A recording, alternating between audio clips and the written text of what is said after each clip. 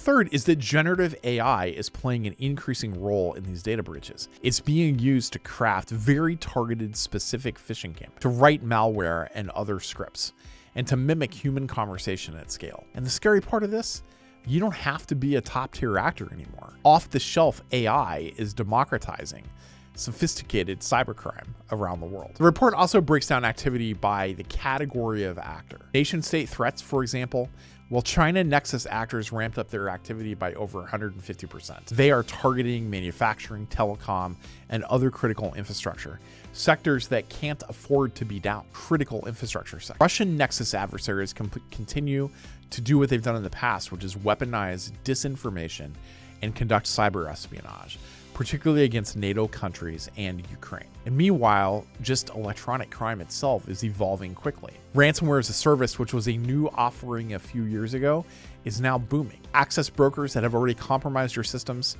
you're compromised your identity infrastructure at least, are thriving. And groups like Lockbit, Clop, and Black Hat are professionalizing.